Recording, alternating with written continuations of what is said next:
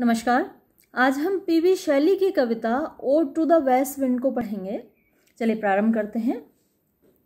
O wild west wind, thou breath of autumn's being, thou from whose unseen presence, the leaves dead are driven like goes from an enchanter fleeing. O wild west wind देखिए, पहली ही line में figure of speech है alliteration आप जानते हैं, जब कोई साउंड रिपीट होती है तो वहाँ फिगर ऑफ़ स्पीच एलिटरेशन होता है तो यहाँ wild west wind sound repeat हो रही है, ये एलिटरेशन है। O wild wild means uncontrolled यानी आप आप पढ़ते हैं वाइल्ड एनिमल्स डोमेस्टिक एनिमल्स तो जो वाइल्ड एनिमल्स होते हैं, जंगली जानवर, उनको कंट्रोल नहीं किया जा सकता और डोमेस्टिक एनिमल्स जिनको कंट्रोल कर सकते हैं हम। तो जो वेस्ट विंड है, जो पश्चिमी हवा है, वो है wild uncontrolled O wild west wind अरे, अनियंत्रित वेस्ट विंड पश्चिमी हवा, दाव दाव मीन्स यू तुम। Breath of autumn's being breath सांस होती है। ऑफ़ ऑटम्स बींग ऑटम पतझड़। बींग का मतलब अस्तित्व या शरीर। तो ऑटम यदि एक व्यक्ति है, यहाँ देखिए कि पर्सोनिफिकेशन है। ऑटम ए कैपिटल से लिखा हुआ है और पर्सोनिफिकेशन में, जो जिस चीज़ का पर्सोनिफिकेशन किया जाता है, वो कैपिटल से लिखा जाता है। ऑटम्स बीइंग जैसे कि एक व्यक्ति की सांस होती है, वैसे ही जो ऑटम है, जो पतझड़ है, उसके शरीर की सांस है west wind thou means you breath of autumn's being so you are the breath of the body of autumn यानी पतझड़ के शरीर की सांस हो तुम। और पतझड़ को एक अच्छा मौसम नहीं माना जाता है जो बसंत है स्प्रिंग सीज़न है, उसकी सभी तारीफ़ करते हैं और सभी उसको चाहते हैं, लेकिन पतझड़ को नहीं चाहते, जबकि आपने कीट्स की पोइम पढ़ी थी, मेरे साथ पढ़ी थी, उसमें ऑटम की खूबसूरती दिखाई थी, पतझड़ की खूबसूरती दिखाई थी, और यहाँ भी आप देखेंगे कि ऑटम यानी पतझड़ के दौरान जो हवा चलती है वेस्ट विंड, उसकी खूबसूरती आप यहाँ देखेंगे। Autumn's mean thou means you तुम। From whose unseen presence from whose जिसके के? Unseen presence unseen means invisible जो कि नहीं देखी जा सकती, अनदेखी। प्रेजेंस उपस्थिति। द लीव्स डेड यानी डेड लीव्स मरी हुई पत्तियाँ, सूखी हुई पत्तियाँ। तो दाव फ्रॉम हुज अनसीन प्रेजेंस तुम जिसकी के अनदेखी उपस्थिति से। द लीव्स डेड मरी हुई पत्तियाँ या सूखी हुई पत्तियाँ आर ड्रिवन यानी कि ले जाई जाती हैं, खींची जाती हैं, फेंकी जाती हैं। लाइक गोस्ट्स भूतों की तरह। फ्रॉम एन एनचांटर फ्लीइंग जैसे कि भूत भागते हैं। फ्रॉम से an enchanter means magician fleeing means running away यानी जैसे एक मैजिशियन की उपस्थिति से भूत भागते हैं, वैसे ही पत्तियाँ तुम्हारी अनसीन प्रेजेंस से भागती हैं।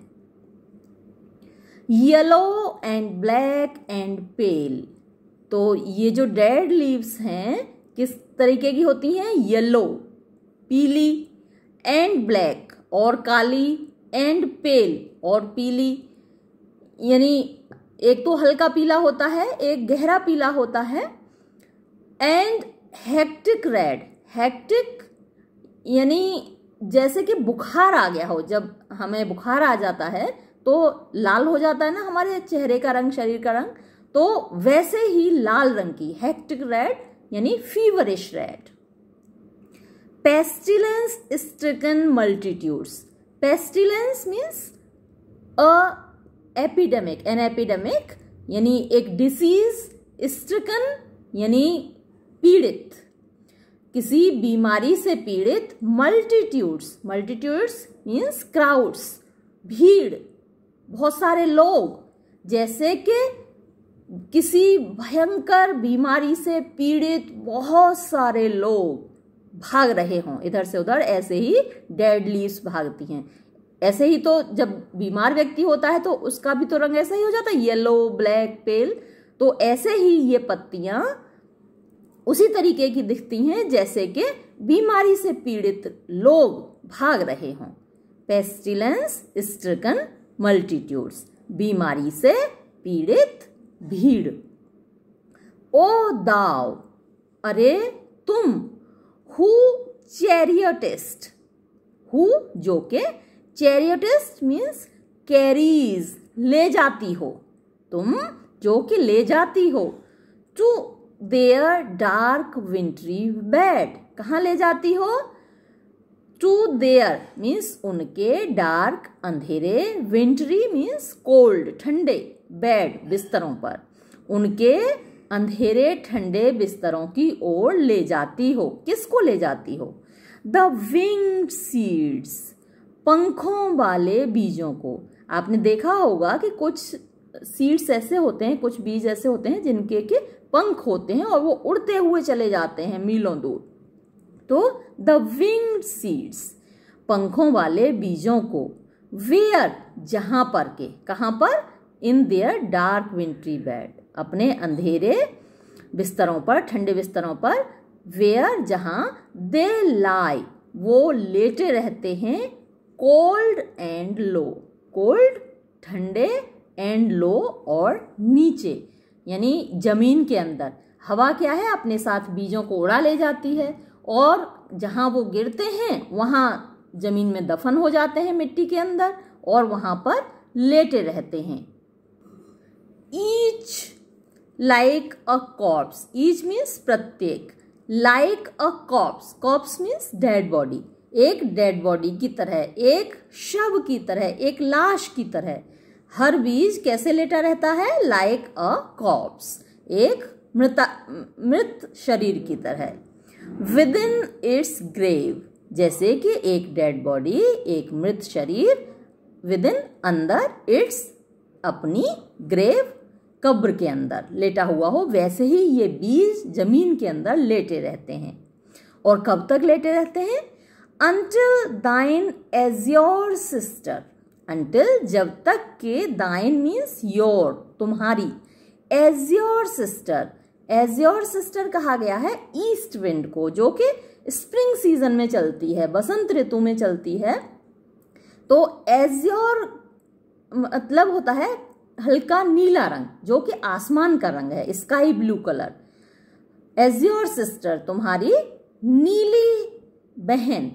यानी कि जो बसंत की हवा है, तुम्हारी बहन, जो कि बसंती हवा है ऑफ़ द स्प्रिंग यानी बसंत की शेल ब्लो वो बजाएगी।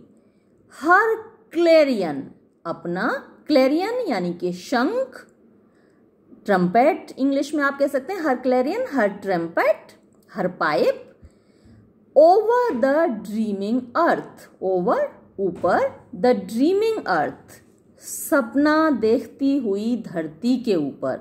धरती जैसे मानो के सो जाती है। विंटर सीज़न में सारी कायनात यूरोप में ऐसा लगता है जैसे कि सो जाती है, सपना देख रही हो। ना तो चिड़िया चहचहाती हैं, ना कोई शोरगुल होता है, ना पक्षी बाहर दिखते हैं। ना पेड़ पौधे फलते फूलते हैं, ना वो झूमते हैं तो ऐसा लगता है जैसे सब कुछ सो गया हो, धरती मानो सो गई हो और वो सपना देख रही हो। तो उस नींद से, उस सपने से धरती को कौन जगाता है? एज्योर सिस्टर इसकी वेस्ट विंड की एज्योर सिस्टर यानी कि बसंत की हवा। जब बसंत आती है तो सारी धरती जैसे जग जाती है। फूल खिलने लगते हैं, चिड़िया चहचहाने लगती हैं तो her clarion over the dreaming earth जब बसंत की हवा, जब east wind will blow its trumpet यानी अपना शंखनाद करेगी ओवर द ड्रीमिंग अर्थ सपना देखती हुई धरती पर। The earth that seems to be sleeping and fill driving sweet birds like flocks to feed in air अब ये देखिए, ये तो ब्रैकेट के अंदर है। तो जो हमारा सेंटेंस पूरा होगा वो and fill with living hues and odours plain and hill तो सेंटेंस ये है और ये बीच में तो इसका अर्थ अलग निकालेंगे। And fill with living hues and fill और भर देगी विद लिविंग ह्यूज लिविंग सजीव.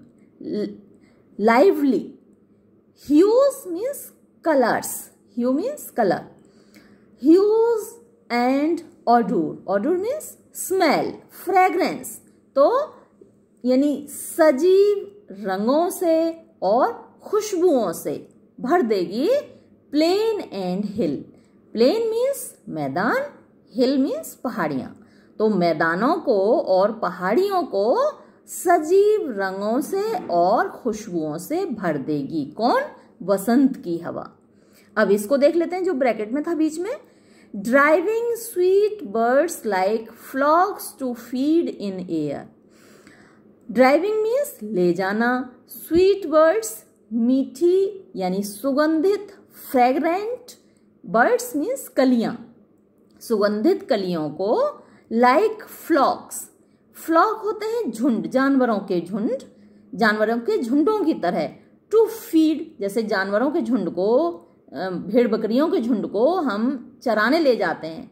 हम क्या जो भी पालते हैं, वो चराने ले जाते हैं। टू फ़ीड मीन्स चराने के लिए इन द एयर हवा में। तो अपने साथ हवा उड़ा के ऐसे ले जाती है स्वीट बर्ड्स को, यानी खुशबूदार कलियों को अपने साथ ऐसे उड़ा के ले जा रहती है, जैसे कि भेड़ बकरियों को चराने के लिए ले जाया जाता है। वाइल्ड स्पिरिट फिर से उसने वाइल्ड बोला। वाइल्ड मैंने आपको बताया था that can not be controlled uncontrolled तो वाइल्ड स्पिरिट स्पिरिट होती है आत्मा, यानी अनियंत्रित आत्मा, आज़ाद आत्मा, स्वतंत्र आत्मा। Which art moving everywhere which जो कि आर्ट मतलब are A R E are उसको ओल्ड इंग्लिश में आर्ट लिखा जाता है। मूविंग घूमती रहती है एवरीवेयर हर जगह। भाई वो वाइल्ड है तभी तो घूमती रहती है। अगर वो कंट्रोल्ड होती या डोमेस्टिकेटेड होती तो वो ऐसे हर जगह नहीं घूम सकती थी। क्योंकि वो वाइल्ड है वाइल्ड स्पिरिट है, आज़ाद है, इसीलिए वो which art moving everywhere so it is free it can move anywhere which art moving everywhere destroyer and preserver अब देखिए, ये हुआ ऑक्सीमोरोन यानी दोनों चीज़ें एक साथ बोली गई हैं। एक ही चीज़ को, यानी वाइल्ड वेस्ट विंड को, उसने डेस्ट्रॉयर भी बोला और प्रिजर्वर भी बोला। डेस्ट्रॉयर कौन होता है? विनाश करता one who destructs one who destroys और प्रिजर्वर वन हु प्रिजर्व्स जो कि सुरक्षित करता है। तो एक ही एंटिटी एक ही व्यक्ति, एक ही चीज़ एक बार में विनाश करता भी है और सुरक्षित करता भी है। वो कैसे? देखिए, जो पीली पत्तियाँ हैं, जो डेड लीव्स हैं, उनको वो पेड़ से हटाती है और अपने साथ उड़ा ले जाती है, मिट्टी में मिला देती है और उनको नष्ट कर देती है, समाप्त कर देती है। यानी एक चीज़ को वो खत्म कर रही है। एक लाइफ था जिसको वो खत्म कर रही है। लाइफ तो उसमें ऑलरेडी खत्म हो चुका। जब पत्तियाँ पीली हो गई तो वो डेड हो गई और उनको पूरी तरीके से नष्ट किया वेस्ट विंड ने। तो डेस्ट्रॉयर एंड प्रिजर्वर तो प्रिजर्वर वो कैसे है? अभी आपने पढ़ा कि वो बीजों को अपने साथ उड़ाकर ले जाती है। और उन बीजों को कहाँ डाल देती है? देखिए, आपने ये अभी पढ़ा था। Who chariotest to their dark wintry bed the winged seeds तो बीजों को अपने साथ ले जाकर मिट्टी में दबा देती है और उनको सुरक्षित कर देती है, जिनमें से न्यू लाइफ नया जीवन फिर से प्रस्फुटित होता है, फिर से निकलता है। हियर ओ हियर सुनो, अरे सुनो। तो ये तो था एक्सप्लेनेशन एक बार इसको फिर से एनालाइज कर लेते हैं, इसकी लिटरेरी डिवाइसेस देख लेते हैं क्या क्या लिटरेरी डिवाइसेस पोइट ने यूज़ की हैं। तो पहली बात तो ये कि ये जो स्टेंजा है फ़र्स्ट स्टेंजा वेस्ट विंड की पावर दिखाता है अर्थ पर, कि अर्थ पर वेस्ट विंड क्या क्या करती है।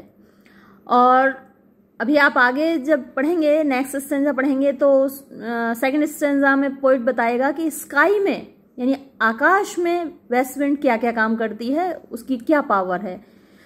तो देखिए लिटरेरी डिवाइसेस देख लीजिए एक बार। ये मैंने आपको पहले ही बताया कि, ओ वाइल्ड वेस्ट विंड यहाँ पर एलिटरेशन है। Wild west wind sound repeat हो रही है डब्ल्यू की। तो एक तो यहाँ एलिटरेशन है। एलिटरेशन के साथ साथ यहाँ एक और फिगर ऑफ़ स्पीच है, जिसको अपोस्ट्रॉफी बोलते हैं।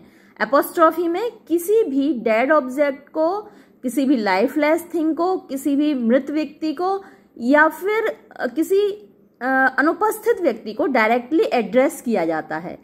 तो यहाँ पर पोइट वेस्ट विंड को डायरेक्टली एड्रेस कर रहा है, जैसे कि वो कोई इंसान हो, उसके सामने खड़ा हुआ तो यहाँ पर फिगर ऑफ़ स्पीच एपोस्ट्रॉफी भी है। और और ब्रेथ ऑफ़ ऑटम्स बीइंग ये मैंने आपको बताया था कि उसने ऐसा दिखाया है जैसे कि ऑटम एक पर्सन है और उसकी सांस है वेस्ट विंड तो यहाँ पर्सोनिफिकेशन हुआ ऑटम का। फिर सेकेंड लाइन में आप देखेंगे प्रेजेंस द लीव्स डेड है ना? From whose unseen presence the leaves dead जबकि आप नॉर्मली जब सेंटेंस लिखते हैं और एडजेक्टिव लगाते हैं तो डेड लीव्स लिखते हैं। डेड को पहले लगाते हैं लीव से, अब, लेकिन यहाँ पर पोइट ने डेड को बाद में रखा लीव्स को पहले रखा तो ये फिगर ऑफ़ स्पीच हुआ इनवर्जन फिर थर्ड लाइन में है लाइक गोस्ट तो जहाँ so like as word use होते हैं कंपैरिजन के लिए तो वहाँ पर फिगर ऑफ़ स्पीच सिमिली होता है। गोस्ट्स के साथ कंपेयर किया लीव्स को। इसके बाद आप आइए यहाँ ईच लाइक का कॉप्स फिर से यहाँ पर सिमिली है, इस लाइन में भी। आप इसमें भी पर्सोनिफिकेशन बोल सकते हैं। पेस्टिलेंस स्ट्रिकन मल्टीट्यूड्स ऐसा लग रहा है जैसे कि किसी बीमारी से पीड़ित इंसान हो, बीमारी से पीड़ित लोग हो तो यहाँ भी पत्तियों को ऐसा दिखाया गया है, जैसे बीमारी से पीड़ित लोग हों तो यहाँ भी आप पर्सोनिफिकेशन कह सकते हैं इसको भी। देन आप देखिए कि इसमें thine sister of the azure then azure sister of the spring shall blow her clarion तो तुम्हारी एज एज्योर सिस्टर जो तुम्हारी बहन है बसंती हवा वो अपना क्लेरियन बजाएगी, अपना शंख नाद करेगी, अपना ट्रम्पेट बजाएगी। तो ट्रम्पेट बजाना या शंख बजाना, ये किसी व्यक्ति का ही काम होता है पर्सन का काम होता है, लेकिन यहाँ वसंत की हवा को एज अ पर्सन ट्रीट किया गया है, वो आकर शंखनाद करेगी तो यहाँ भी फिगर ऑफ़ स्पीच पर्सोनिफिकेशन है। बर्ड्स लाइक फ्लॉक्स यहाँ फिर से सिमिली है, और ये जो डेस्ट्रॉयर एंड प्रिजर्वर है, मैंने आपको बताया था, यहाँ पर ऑक्सीमोरन है, आप इसको पैराडॉक्स भी कह सकते हैं। साथ ही इसमें पर्सोनिफिकेशन भी है, क्योंकि डेस्ट्रॉयर और प्रिजर्वर एक तो दोनों ही कैपिटल से लिखे हुए हैं और दोनों ही एक व्यक्ति का काम होता है, एक व्यक्ति विनाश करता होता है, एक व्यक्ति प्रिजर्वर होता है तो इन, इसको पर्सोनिफाई किया गया है वेस्ट विंड को यहाँ पर। राइम स्कीम यदि आप देखें इस स्टेंजा की तो देखिए ये राइम स्कीम है बींग ए कहेंगे हम इसको डेड बी फ्लिंग फिर से ए तो बींग और फ्लिंग ये आपस में राइम कर रहे हैं तो दोनों की राइम स्कीम इनकी ए हुई, लेकिन डेड अलग है तो इसकी राइम स्कीम बी हुई. तो फ़र्स्ट थ्री लाइन्स की A B A next three lines में क्या हुआ? ये जो बी था डेड ये यहाँ फिर से आ गया रेड और बैड डेड रेड बेड तो ये बी बी यहाँ पर आ गया, लेकिन दाव अलग है तो हम इसको नाम देंगे सी तो बी सी बी अब नेक्स्ट थ्री लाइन्स देखिए कि लो, ये दाव से राइम कर रहा है तो सी यहाँ पर फिर से रिपीट हुआ। सी लो और ब्लो दो लो ब्लो और लेकिन अंटिल यहाँ पर अलग है तो हम इसको बोलेंगे डी सी डी सी फिर यहाँ पर देखिए फिल। फिल किससे साथ राइम कर रहा है? अंटिल के साथ। अंटिल फिल और ये हिल तो ये डी हो गया और ये भी डी हुआ, लेकिन ए अलग है तो इसको हम कहेंगे ई e. फिर यहाँ पर देखते हैं लास्ट में ये एक कपलेट की तरह है एवरीवेयर हियर लेकिन ये यहाँ एयर के साथ राइम कर रहा है तो ये भी ई e है और यहाँ फिर से ई e और ई है। तो इस तरीके से ये इस स्टेंजा का एनालिसिस कंप्लीट हुआ। अब हम चलते हैं सेकंड स्टेंजा पर। सेकंड स्टेंजा में जैसा कि मैंने कहा था पोइट आपको बताएगा कि what is the power of west wind in the sky आकाश में उसकी क्या पावर है? आकाश में वो क्या करती है? देखते हैं। Thou on whose stream mid the steep sky's commotion loose clouds like earth decaying leaves are shed shook from the tangled bows of heaven and ocean. Thou means tum, you. On whose stream whose जिसकी के stream धारा जिसकी धारा पर mid means मध्य बीच में amid या midst the steep sky's commotion. Steep यानी जिसमें स्लोप होता है, ढालू। स्काई आकाश कमोशन। कमोशन होती है हलचल या शोर। यानी आकाश के बीच में शोर करते हुए। धाराएँ जहाँ भी बहती हैं, वहाँ शोर करती हैं तो आकाश के जो ढाल है, वहाँ पर शोर करते हुए। Mid the steep sky's commotion. बीच आकाश में, बीच ढालू आकाश में शोर करते हुए, हलचल करते हुए। लूज क्लाउड्स लूज मीन्स बिखरे हुए। क्लाउड्स बादल लाइक की तरह अर्थ धरती के डिकेइंग नष्ट होते हुए लीव्स पत्ते आर शेड मीन्स गिरते हैं। यानी जैसे धरती पर decaying leaves, dying leaves, dead leaves गिरती हैं, वैसे ही वहाँ आकाश में कौन गिरता है? लूज क्लाउड्स बिखरे हुए बादल। Shook from the tangled boughs of heaven and ocean shook, shake की सेकंड फॉर्म है शुक। एस एच ए के शेक मीन्स हिलना, गिरना। और उसकी सेकंड फॉर्म है shook third form shaken shook from the tangled tangled means उलझे हुए बाउज लताएँ. आपने देखा होगा टहनियाँ लताएँ आपस में उलझ जाती हैं। और जब टहनियाँ उलझती हैं और साथ में हवा चलती है तो पत्तियाँ गिरती हैं। वैसे ही ये जो बादल गिर रहे हैं, वो पत्तियों की तरह गिर रहे हैं। और टहनियाँ कौन है? Boughs of heaven and ocean एक तो हेवन है, आकाश है, दूसरा ओशन है, महासागर है।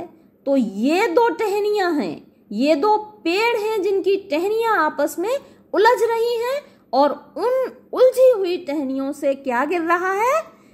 पत्तियों की तरह बादल गिर रहे हैं। क्या खूबसूरत तस्वीर है, देखिए। Angels of rain and lightning और वो जो बादल गिर रहे हैं, वो दूसरी ओर कैसे लग रहे हैं? एक तो उसने संज्ञा दी उनको डिकेइंग लीव्स की, और दूसरा उनका जो रूप है, कैसे दिख रहे हैं? एंजल्स, देवदूत। एंजल्स के बारे में यह कहा जाता है कि वो वाइट कलर के होते हैं, सफ़ेद रंग के होते हैं, चमकते हुए होते हैं। तो angels of rain and lightning, देवदूत रेन बरसात के एंड लाइटनिंग और बिजली के। देयर आर स्प्रेड वहाँ फैले हुए हैं। ऑन द ब्लू सरफेस नीली सतह पर ऑफ़ दाइन तुम्हारे। एयरी सर्ज एयरी हवाई सर्ज उठान, तुम्हारे, हवाई उठान पर। फैले हुए हैं। कैसे फैले हुए हैं? Like the bright hair bright चमकते हुए हेयर बाल। चमकते हुए बालों की तरह। अपलिफ्टेड जो कि ऊपर उठे हुए हैं। फ्रॉम द हेड सिर से। किसके सिर से? Of some fierce maenad of some किसी फियर्स भयानक, डरावनी, मिनैड। ये मिनैड क्या है भाई? ये है, यूनान में एक देवता है, शराब का देवता, जिसका नाम है डियोनिसस डियोनिसस की पूजा करने वाली जो पुजारने हैं, अब भाई, शराब के देवता की पुजारने भी तो शराबी ही होंगी ना? पियक्कड़ होंगी तो वो जो हैं मिनट वो जब नशे में होती हैं, उन पर जब डियोनिसस का जादू सर चढ़ के उनके बोलता है तो वो पागलों की तरह नाचती फिरती हैं और उनके बाल बिखरे हुए उड़ते जाते हैं और वो नाचती जाती हैं। उस पागलपन में उनके सामने जो भी आता है, उसको वो चीर डालती हैं। बहुत इसलिए उनको फियर्स बोला है, भयानक बोला है। हाँ मस्त अपनी उसमें मतलब नशे में नाचती हैं और जो भी सामने आया उसको फाड़ डालती हैं, चीर डालती हैं। तो ऐसा लगता है कि जैसे किसी मिनट के बाल ऊपर उठे हुए हों like the bright hair uplifted from the head of some fierce maenad even from the dim verge even यहाँ तक के फ्रॉम से कहा से डिम धुंधला वर्ज किनारा। धुंधले किनारे से ऑफ़ द हॉराइजन हॉराइजन होता है सितिज जहाँ धरती और आकाश का मिलन होता है, वो हॉराइजन होता है, वो सितिज होता है।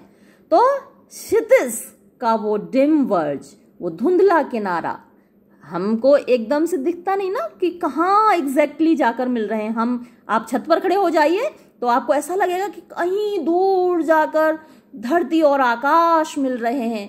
वो हॉराइजन है। तो dim verge of the horizon to the zenith height zenith height आकाश की ऊंचाई, आकाश की चोटी जेनिथ होती है चोटी, यानी आकाश की ऊँची चोटी तक। The locks of the approaching storm locks लटें, बालों की लटें ऑफ़ द अप्रोचिंग अप्रोचिंग आता हुआ स्टॉर्म तूफ़ान। देखिए, तूफ़ान भी यहाँ ऐसे आ रहा है। यहाँ एक व्यक्ति के रूप में आ रहा है जिसकी लटें ऊपर उठी हुई हैं। जो जो काले काले बादल घिर के आ रहे हैं, वो ऐसे दिख रहे हैं जैसे कि लटें हों आते हुए तूफ़ान की। दाओ, तुम डर्ज शोक गीत डर्ज क्या होता है? जब किसी की मृत्यु हो जाती है तो उसके लिए जो गीत गाया जाता है, शोक गीत गाया जाता है, उसको बोलते हैं डर्ज तो तुम शोक गीत ऑफ़ द डाइंग ईयर अब जब मृत्यु गीत गाया जा रहा है तो कोई मर भी तो रहा होगा। अब कौन मर रहा है? ऑफ़ द डाइंग ईयर मरते हुए साल का। तुम शोक गीत हो, मृत्यु गीत हो, मरते हुए साल का। साल कैसे मर रहा है? आपको मालूम है, सर्दी का मौसम जब आता है तो साल का अंत हो रहा होता है, दिसंबर आ रहा होता है। तो डाइंग ईयर टू विच जिसके लिए दिस क्लोजिंग नाइट ये ढलती हुई रात विल बी बनेगी। द डोम गुंबद of the vast sepulchre vast Vishal sepulchre क्या होता है? मकबरा। जैसे ताजमहल है, एक मकबरा है, किसी की मृत्यु हुई है, किसी को वहाँ दफनाया गया है तो उस, वहाँ वो विशाल मकबरा बना है, सिकंदरा है। वहाँ पर अकबर को दफनाया गया है, उसके ऊपर विशाल मकबरा बना हुआ है और डोम होता है गुंबद जो ताजमहल का ऊपर का विशाल गुंबद है। ऐसे ही सिकंदरा का विशाल गुंबद है। तो वो गुंबद कौन बनेगा? दिस क्लोजिंग नाइट ये ढलती हुई रात, उस विशाल मकबरे का गुंबद बनेगी। Vaulted with all thy congregated might vaulted यानी जिसके कंगूरे होंगे, जिसकी मीनारें होंगी, जिसके आर्क होंगे, क्या with all thy congregated might congregated होती है संगठित माइट शक्ति. तुम्हारी संपूर्ण शक्ति से उसके कंगूरे बनेंगे, उसकी मीनारें बनेंगी.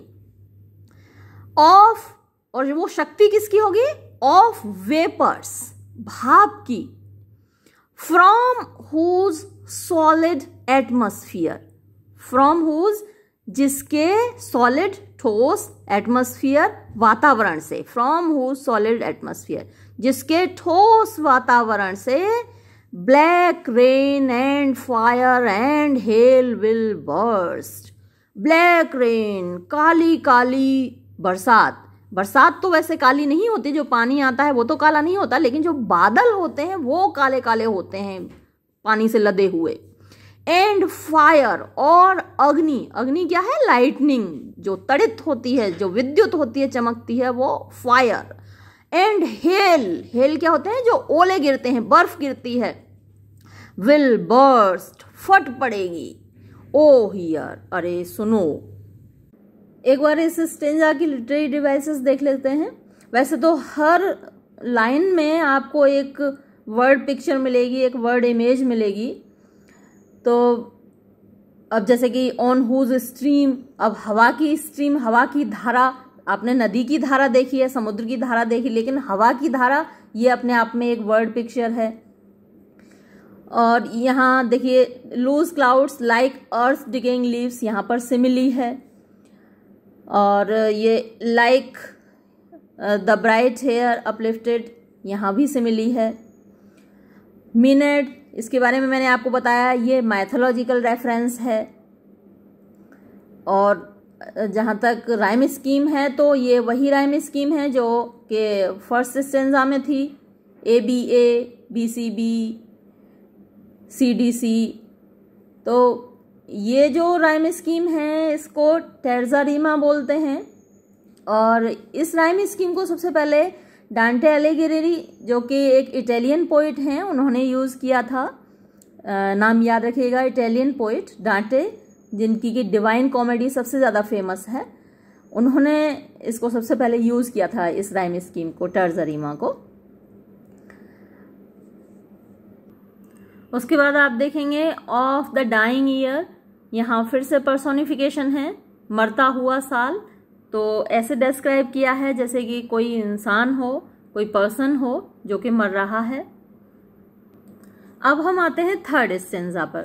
थर्ड स्टेंजा पर आप देखेंगे कि वेस्ट विंड की पावर ओशन में क्या है। अभी आपने देखा धरती पर फ़र्स्ट स्टेंजा में, आकाश में उसकी पावर देखी सेकंड स्टेंजा में। अब थर्ड स्टेंजा में आप देखेंगे power of the west wind in the ocean महासागरों में उसकी पावर क्या है? दाओ, तुम हु डिडस्ट वेकन हु जिसने के डिडस्ट वेकन जगा दिया। फ्रॉम हिज समर ड्रीम्स उसके गर्मी के सपनों से। गर्मी का मौसम जो होता है, वो बड़ा सुहावना होता है यूरोपियंस के लिए। तो जैसे गर्मी के दिनों में महासागर सपने देख रहा था तो उसको जगा दिया फ्रॉम हिज समर ड्रीम्स उसके गर्मी के सपनों से। और इस लाइन में देखिए पर्सोनिफिकेशन है क्योंकि किसको जगाया है? द ब्लू मेडिटेरेनियन नीले भूमध्य सागर को। तो नीले भूमध्य सागर को ऐसे ट्रीट किया है पोइट ने जैसे कि वो एक पर्सन हो, जो कि सो रहा है और सपने देख रहा है। तो यहाँ फिगर ऑफ़ स्पीच पर्सोनिफिकेशन है। वेयर ही ले जहाँ वो लेटा हुआ था। लल्ड लल एक वर्ब है जिसका मतलब होता है लोरी गाकर सुलाना। जिसको कि लोरी गाकर सुलाया गया था by the coil of his crystalline streams by the coil coil डोरियाँ होती हैं, जैसे कि पालने की डोरियाँ हों, जिनमें वो झूला झूल रहा हो, उसके लोरी गाकर सुलाया गया हो.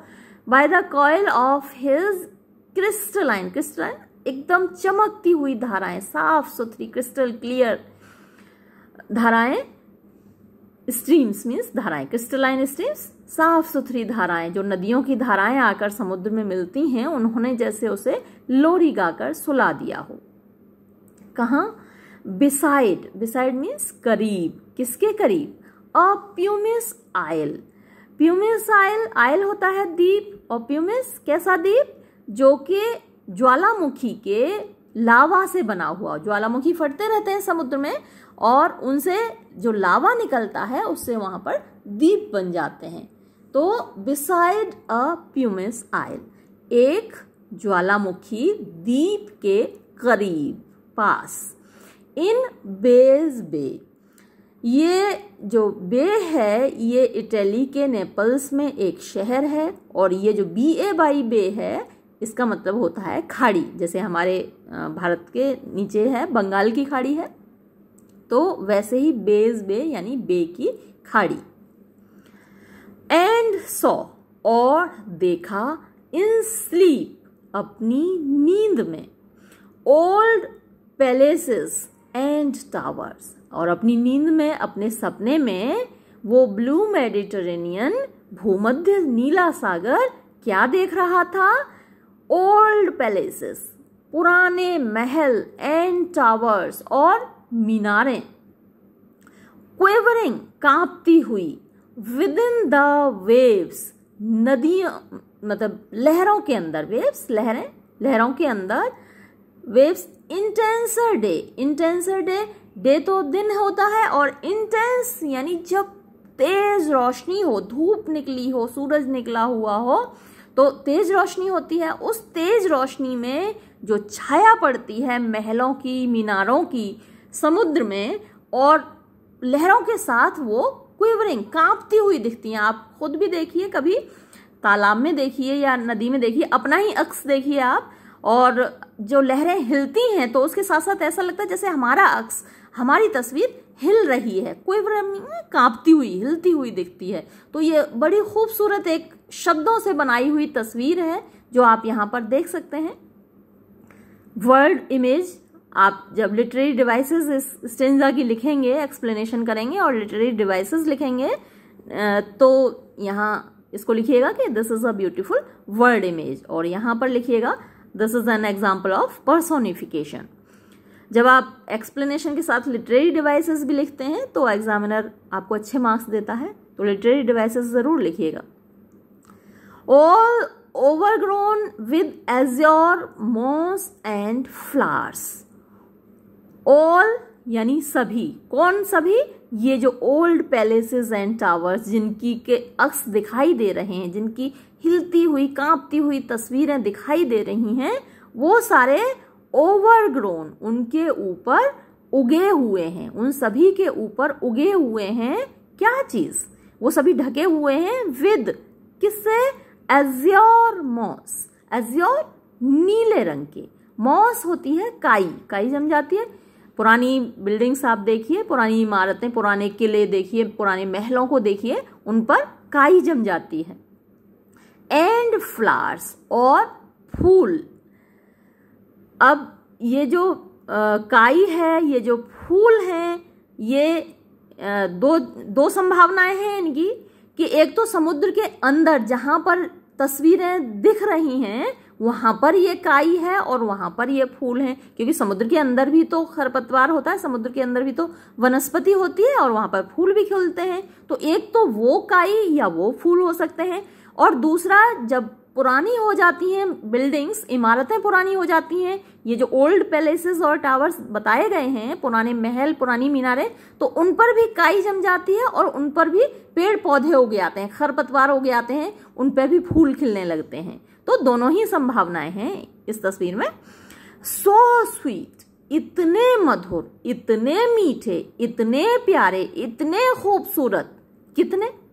द सेंस फेंट्स सेंस हमारी जो इंद्रियाँ हैं, आँखें, नाक, कान तो जो सेंस है, चाहे आँखें देखते हुए या जो, क्योंकि फ्लावर्स हैं, उनकी खुशबू आ रही है तो उनको सूंघते हुए हमारी नाक फेंट फेंट का मतलब होता है बेहोश हो जाना, मदहोश हो जाना।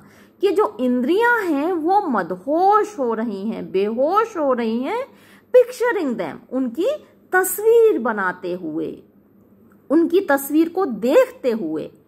अब ये जो एग्ज़ाम्पल है सेंसुअसनेस का एग्ज़ाम्पल है, ये आपको कीट्स में ज़्यादा देखने को मिलता है, लेकिन यहाँ भी कोई कम नहीं है। सेंसुअसनेस है कि जो चीज़ें दिखाई दे रही हैं, उनकी तस्वीर से हमारी इंद्रियाँ, यानी कवि की इंद्रियाँ पोइट की इंद्रियाँ मदहोश हो रही हैं, बेहोश हो रही हैं, और इसको पढ़कर हमें भी महसूस हो रहा है कि जैसे हम उन तस्वीरों को अपने सामने देख रहे हैं, और हमारी आँखें भी मदहोश हो रही हैं। The sense faints picturing them इंद्रियाँ मदहोश हो जाती हैं उनकी तस्वीर को देखकर, उनकी तस्वीर को बनाते हुए, देखते हुए। दाओ, तुम फॉर हुज पाथ, जिसके के रास्ते के लिए, हुज जिसके पाथ मीन्स रास्ता, जिसके रास्ते के लिए the Atlantic's level powers. Atlantic महासागर है, आप परिचित हैं। लेवल है समतल, यानी शांत जल। पावर्स, शक्तियाँ, यानी अटलांटिक महासागर का जो समतल जल है, जो सतह है, जो कि शांत जल है अटलांटिक महासागर का क्लीव देम क्लीव होता है बीच में से चीर देना। तो वो अपने आप को चीर देता है, शांत पानी, समतल पानी, अपने आप को चीर देता है इन टू चैज्म्स चैज्म होते हैं दर्रे। तो वो चीर कर अपने आप को, अपनी छाती को चीर कर दर्रे बना देता है तुम्हारा रास्ता देने के लिए, तुम्हारा रास्ता तैयार करने के लिए क्या खूबसूरत तस्वीर है और क्या डिस्क्रिप्शन है। वाइल फार बिलो वाइल जबकि फार बिलो बहुत नीचे the sea blooms sea blooms समुद्री फूल, समुद्री पौधे, समुद्री वनस्पति and the oozy woods oozy चिकने, क्योंकि समुद्र के अंदर है, वहाँ हमेशा पानी रहता है, वो जल के अंदर रहते हैं तो वो इसलिए चिकने हैं। ऊजी वुड्स, जंगल, यानी समुद्र के अंदर जो वनस्पति है, वहाँ भी बहुत सारे पेड़ पौधे हैं। विच वियर, जो कि रखते हैं, समुद्र के जंगल, समुद्र के अंदर जो वनस्पति है, वो रखते हैं। द सैपलेस फोलिएज सैपलेस, यानी उनमें जूस नहीं होता। जैसे हमारे जो पेड़ पौधे हैं, जो धरती के ऊपर पेड़ पौधे हैं, इनमें आपने देखा हरी पत्तियाँ होती हैं, क्लोरोफिल उनके अंदर भरा होता है, उनमें एक जूस होता है। तो ये जो क्लोरोफिल है, ये जो जूस है, वो समुद्र के अंदर की वनस्पति में नहीं होता, इसलिए पोइट ने उनको कहा है सैपलेस, यानी जूस रहित मतलब रस रहित, रसहीन। सैपलेस फोलियज फोलियज पत्ते, वनस्पति। ऑफ़ द ओशन समुद्र की नो पहचानते हैं, जानते हैं दाई वॉइस तुम्हारी आवाज़ को। यानी जब तुम चलती हो तेज़ी से तो वो तुम्हारी आवाज़ को पहचानते हैं। और एंड और सडनली अचानक ग्रो ग्रे पीले पड़ जाते हैं, सफ़ेद पड़ जाते हैं विद फियर डर से। यानी तुम्हारी आवाज़ सुनते ही वो डर से पीले पड़ जाते हैं एंड ट्रेम्बल और कांपने लगते हैं एंड डेस्पॉइल दैम सेल्व डेस्पॉइल अब विनाश कर लेते हैं दैम सेल्व अपने आप का। खुद ही अपना विनाश कर लेते हैं। ओ हियर अरे, सुनो। इस स्टेंजा की भी राइम स्कीम वही है जो फ़र्स्ट और सेकंड स्टेंजा की थी। अब हम आगे बढ़ते हैं। फोर्थ स्टेंजा देखिए। If I were dead leaf thou mightest bear if यदि आई वर में होता अ डेड लीफ एक मृत पत्ती। देखिए, आई के साथ वर आया है। क्यों आया है? आई के साथ तो वॉज़ आता है। लेकिन जब ऐसी सिचुएशन होती है जहाँ किसी चीज़ की कल्पना की जाती है जो कि नहीं है, यदि मैं एक सूखी हुई पत्ती होता तो ये एक इमेजिनरी सिचुएशन है। तो इसलिए यहाँ पर आई के साथ वर आया है। If I were a dead leaf यदि मैं एक सूखी हुई पत्ती होता दाव तुम माइटस बियर अपने साथ उड़ाल के ले जा सकती थी। ये जो ई एस टी लगा है ओल्ड इंग्लिश में लगता है माइटस मतलब माइट बियर मीन्स ले जाना, उड़ा ले जाना। इफ़ आई वर यदि मैं होता अ स्विफ्ट क्लाउड एक तेज़ी से चलने वाला बादल। स्विफ्ट मीन्स तीव्र क्लाउड बादल टू फ्लाई उड़ने के लिए विद दी तुम्हारे साथ तो तुम्हारे साथ उड़ जाता। अ वेव एक लहर होता, यदि मैं एक लहर होता टू पेंट हाफता बीनीथ नीचे, दाई पावर तुम्हारी शक्ति, यानी तुम्हारी शक्ति के नीचे हाफता। जो लहरें होती हैं, वो हाफती हुई, कांपती हुई दिखाई देती हैं, जब तेज हवा चलती है तो आप देखिए, पानी में लहरें उठती हैं जो कि हाफती हुई या कांपती हुई दिखाई देती हैं। A wave to pant beneath thy power तो मैं तुम्हारी शक्ति के नीचे हाफती हुई एक लहर होता एंड शेयर और बांट लेता। द इम्पल्स मीन्स आवेश को ऑफ़ दाई स्ट्रेंथ तुम्हारी शक्ति के। यानी तुम्हारी शक्ति से कांपता भले ही, लेकिन तुम्हारी शक्ति का मैं भी एक भाग बन जाता एंड शेयर भागीदार बन जाता। द इम्पल्स आवेश का ऑफ़ दाई स्ट्रेंथ तुम्हारी शक्ति के। ओनली केवल लेस थोड़ा सा ही कम फ्री आज़ाद। यानी केवल थोड़ा सा ही कम आज़ाद देन दाव तुमसे होता। अगर ऐसा होता तो मैं तुमसे थोड़ा सा ही कम आज़ाद होता। ओ अनकंट्रोलेबल यहाँ वेस्टविन को कहा है, उसने अनकंट्रोलेबल कंट्रोलेबल जिसको कि नियंत्रित किया जा सकता है अनकंट्रोलेबल जिसको नियंत्रित नहीं किया जा सकता. तो तुम जो कि अनकंट्रोलेबल हो, तुम जो कि नियंत्रण से परे हो.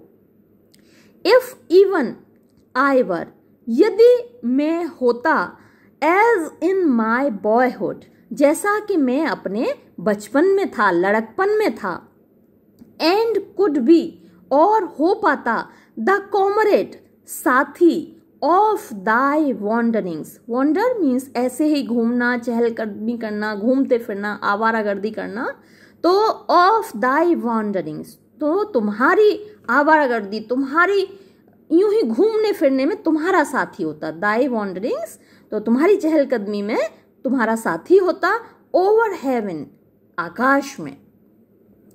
एज देन जैसा कि तब, यानी तब का मतलब कब? लड़कपन में। हर लड़का, हर लड़की, चाहे जब बचपन होता है तो हम कितने आज़ाद होते हैं, कितने स्वच्छंद होते हैं।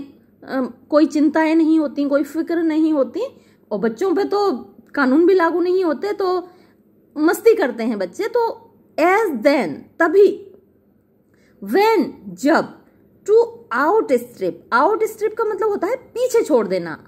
पीछे छोड़कर आगे निकल जाना।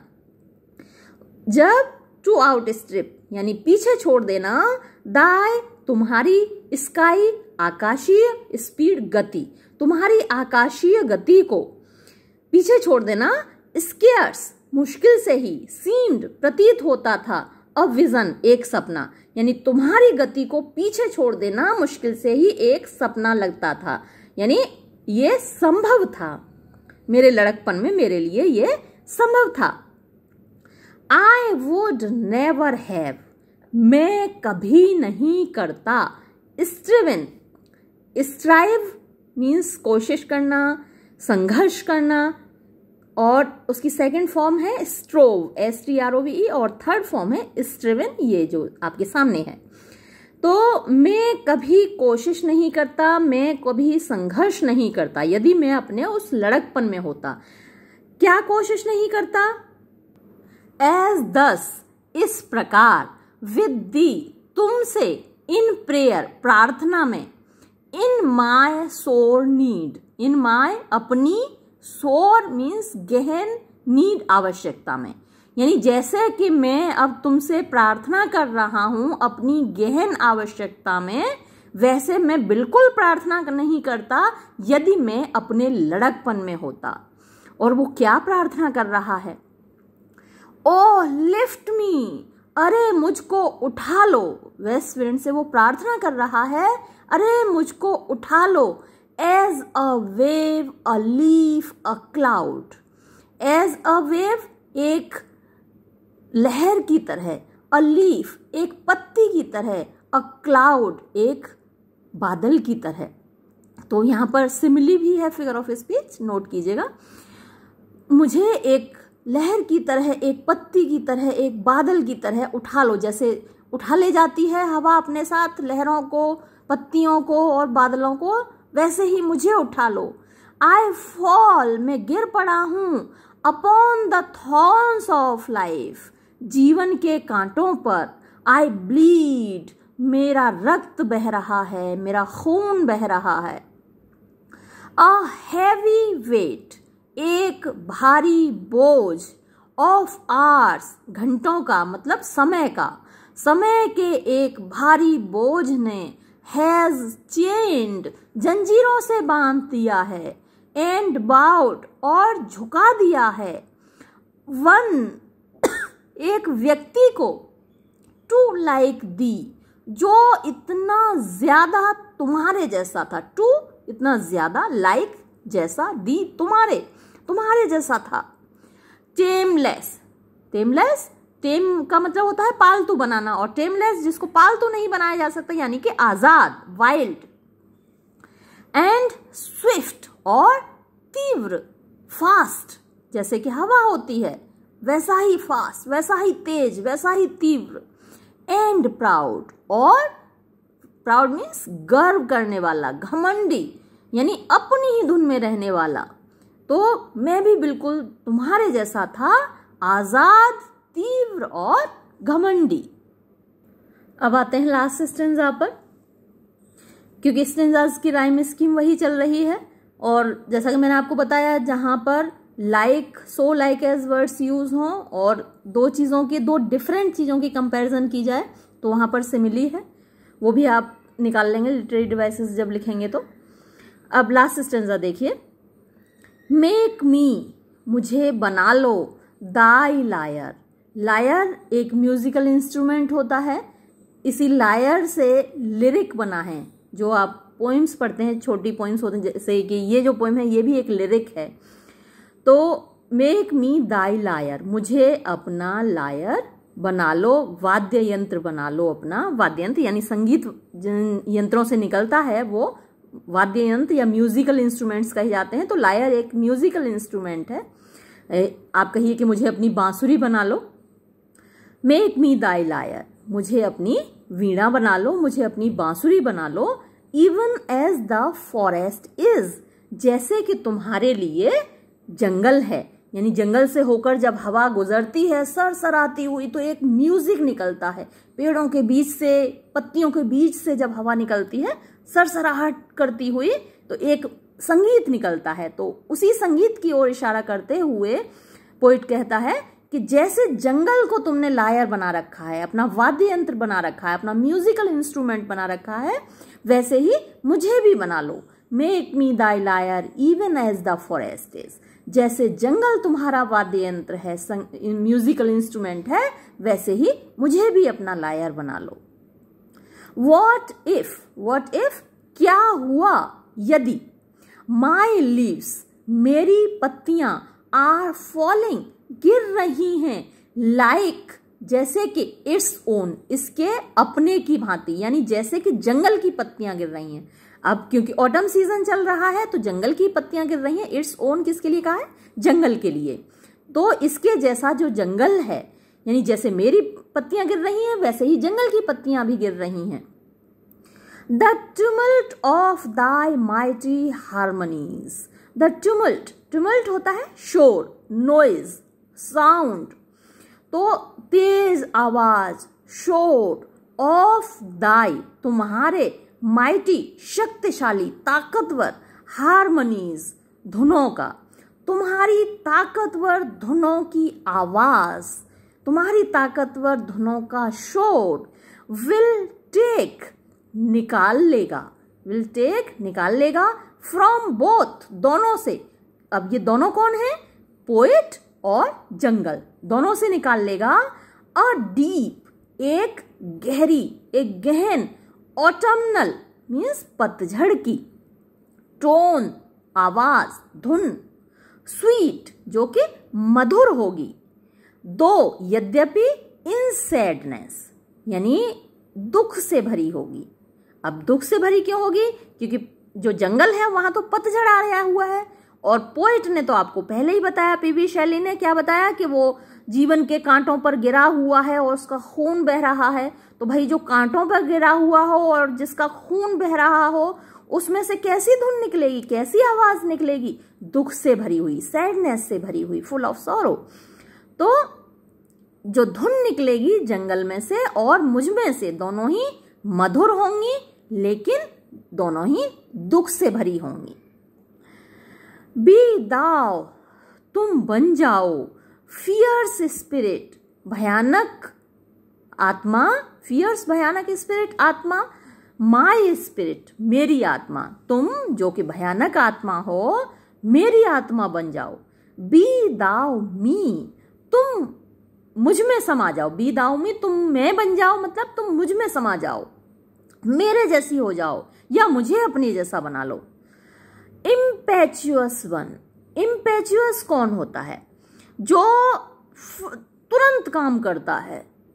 यानी बिना सोचे समझे, आवेश में, आवेग में जो काम करता है तो इम्पेचुअस वन यानी आवेगपूर्ण बन जाओ, मेरे जैसी, या मुझे अपने जैसा आवेगपूर्ण बना लो। ड्राइव ड्राइव मीन्स ले जाना, फैला देना। तो ले जाओ। माय मेरे डेड थॉट्स मृत विचारों को मेरे मृत विचारों को ले जाओ। ओवर द यूनिवर्स पूरे ब्रह्मांड में। लाइक like, देखिए फिर से सिमिली है तो जहाँ इस तरीके से कंपैरिजन हो तो वहाँ सिमिली होता है लाइक विदर्ड लीव्स। विदर्ड मुरझाई हुई लीव्स पत्तियाँ मुरझाई हुई पत्तियों की तरह। एक बात और ध्यान रखिएगा आप, कि जब दो डिफरेंट चीज़ों का कंपैरिजन होता है लाइक सो लाइक एज लगाकर, तभी सिमिली होता है। अगर दो सिमिलर चीज़ों का कंपैरिजन होगा तो सिमिली नहीं होगा। जैसे कि आप कहें my brother is like me तो ये सिमिली नहीं है, भले ही लाइक लगा हुआ है, ये सिंपल कंपैरिजन है। लेकिन, जब दो डिफरेंट चीज़ों का कंपैरिजन होता है, तब सिमिली होता है। अब यहाँ पर देखिए, उसने डेड थॉट्स और लीव्स दोनों डिफरेंट चीज़ हैं, दोनों का कंपैरिजन किया है। लाइक विदर्ड लीव्स मुरझाई हुई पत्तियों की तरह, मेरे विचारों को, मेरे मृत विचारों को ले जाओ, पूरे ब्रह्मांड में फैला दो। लाइक विदर्ड लीव्स मुरझाई हुई पत्तियों की तरह। टू क्विकन क्विकन मीन्स तेज़ी से आगे बढ़ाना, तेज़ी से पैदा करना अ न्यू बर्थ एक नया जन्म, एक नया जीवन।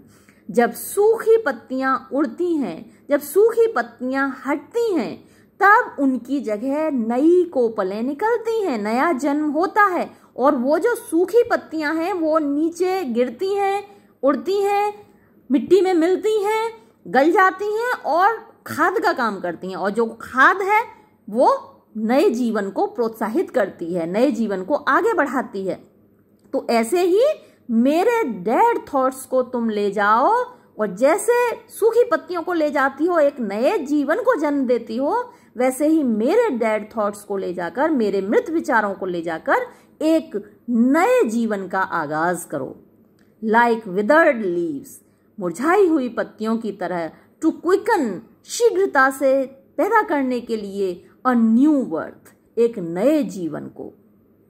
एंड और बाय द इनकेंटेशन इनकेंटेशन क्या होता है?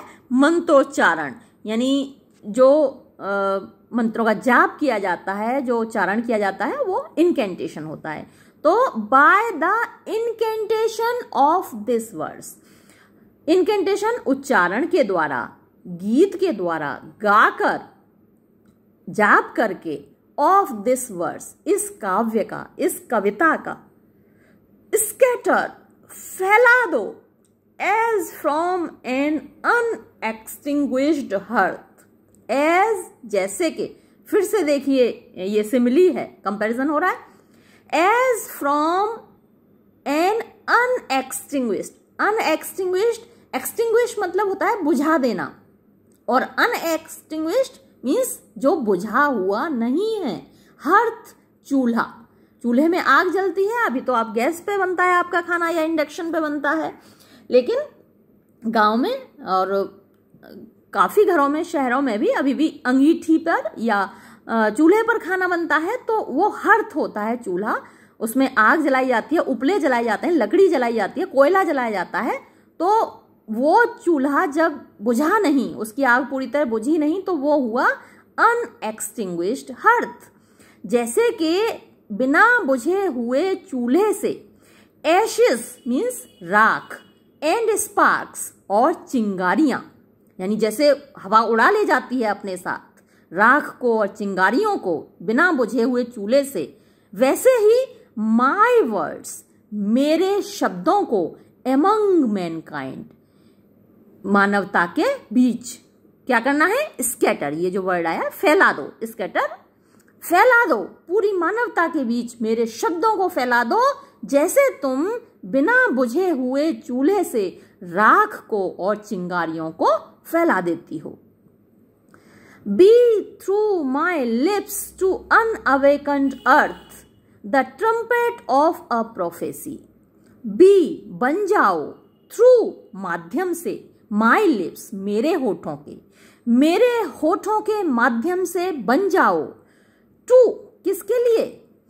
अनअवेकंड बिना जगी हुई, यानी कि सोई हुई, अर्थ, धरती के लिए। सोई हुई धरती के लिए बन जाओ। द ट्रम्पेट ट्रम्पेट तुरही, शंखनाद। ऑफ़ अ प्रोफेसी प्रोफेसी होती है भविष्यवाणी। एक भविष्यवाणी का शंखनाद बन जाओ। ओ विंड, ए हवा इफ़ विंटर कम्स और ये है वो भविष्यवाणी, जो कि सच साबित होती है, हमेशा सच साबित होती है। क्या है वो भविष्यवाणी? इफ़ विंटर कम्स यदि जाड़ा आ गया, यदि पतझड़ आ गया can spring be far behind तो क्या बसंत ऋतु बहुत दूर होगी? अब जब क्वेश्चन पॉजिटिव होता है तो उसका आंसर निगेटिव होता है। Can spring be far behind क्या बसंत दूर होगी? तो आंसर निगेटिव होगा। नहीं, बसंत दूर नहीं होगी। यदि जाड़ा आ गया है तो बसंत दूर नहीं होगी, बसंत पास में ही होगी। यहाँ विंटर सिंबल है, बुरे दिनों का, दुर्भाग्य का। और यदि इस वक्त आपका दुर्भाग्य चल रहा है, इस वक्त आपके बुरे दिन चल रहे हैं तो निश्चय मानिए कि स्प्रिंग दूर नहीं है बसंत ऋतु दूर नहीं है, अच्छे दिन भी दूर नहीं है। यदि पतझड़ है, बुरे दिन है, दुर्भाग्य है इस समय तो बसंत ऋतु दूर नहीं है। और दोनों ही पर्सोनिफाई किए गए हैं। विंटर का देखिए डब्ल्यू कैपिटल है स्प्रिंग का भी एस कैपिटल है तो विंटर आ गया है तो स्प्रिंग भी उसके पीछे पीछे आ रहा है, यानी वो दूर नहीं है, दोनों पर्सोनिफाई किए गए हैं। खूबसूरत कविता आपको पसंद आई होगी। इसके अलावा शैली की कुछ फ़ेमस पोइम्स हैं, कुछ आपके सिलेबस में भी हैं। अलेमेंट जो मैं पहले ही पढ़ा चुकी हूँ ओ टू स्काई लार्क है, जो इसके बाद पढ़ाऊँगी। और stanzas written in dejection near Naples उसको भी हम पढ़ेंगे। तब तक के लिए धन्यवाद।